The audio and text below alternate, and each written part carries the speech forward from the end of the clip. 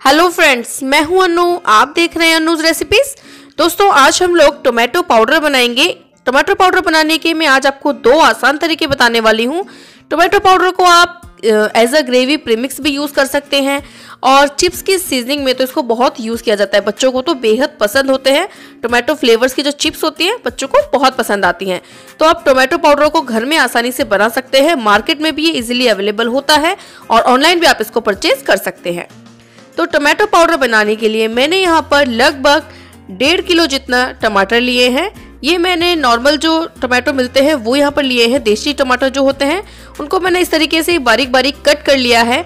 और जो इसका बीच वाला पार्ट होता है यानी कि जो आ, ये देखिए अंदर से मैंने इसका बीच वाले पार्ट को पूरे को निकाल दिया यानी कि जो गूदा होता है उसको मैंने निकाल दिया है। ये बिल्कुल ऑप्शनल है।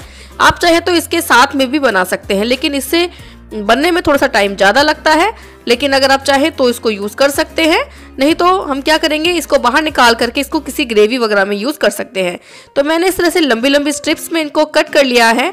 और जो जूसी टमाटोज होते हैं जिनको हम सैलेड के लिए यूज़ करते हैं अगर आप वो यूज़ करेंगे तो उसमें गूदा काफ़ी कम मात्रा में निकलता है तो उससे आपको जो पाउडर है उसकी मात्रा ज़्यादा होगी। तो आप वो चाहे यूज़ कर, कर सकते हैं। मैंने यहाँ पर जो देसी टमाटर होता है उनका यूज़ किया है। अब हम क्या कर रहे हैं, जो बेकिंग ट्रे है, उसमें मैं इसको इस तरीके से सेट कर रही हूँ, क्योंकि हम इसको बनाने वाले हैं अवन में। तो यहाँ पर टोमेटो पाउडर बनाने के दो तरीके हैं।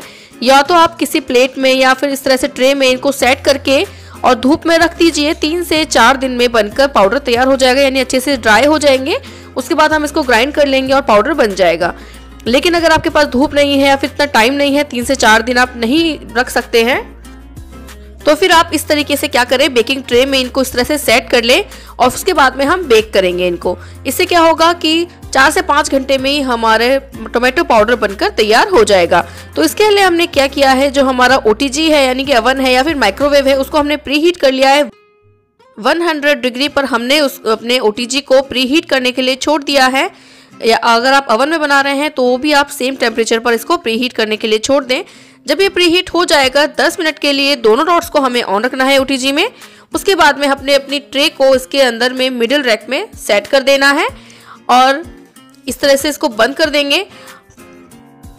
लगभग चार से पाँच घंटे इनको लगेंगे पूरी तरह से ड्राई होने में और एकदम क्रिस्पी होने में। बीच बीच में हम स्पून की सहायता से इस तरह से इनको हिलाते रहेंगे और उसके बाद में जब ये पूरे ड्राई हो जाएँगे तो मैं आपको दिखाती हूँ।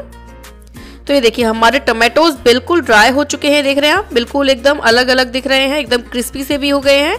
तो अब हम इनको ग्राइंड कर लेते हैं। हमने पाउडर को ग्राइंड कर लिया और अब देख रहे हैं कितना अच्छा पाउडर बनकर तैयार हुआ है, काफ़ी अच्छा कलर भी आया है, बिल्कुल नेचुरल कलर है। तो मैं आपको दिखाती हूँ कि ये कितना बना है मात्रा में। तो यहाँ पर हमने डेढ़ किलो टमाटर लिया था, जिसमें से हमने उसका गूदा अलग निकाल दिया था और इस, इतने टमाटर में हमें 54 ग्राम टमाटो पाउडर बनकर तैयार हुआ है। तो अगर आप इसको सनलाइट में बनाते हैं तो आपको बिजली का खर्चा भी नहीं आएगा और बहुत ही आसानी से टमाटो पाउडर बनकर तैयार हो जाएगा। तो आप भी इसको बनाइए स्टोर करके रखिए और आपको कैसी लगी रेसिपी मुझे ज़रूर बताइएगा। अच्छी लगे तो लाइक ज़रूर कीजिएगा।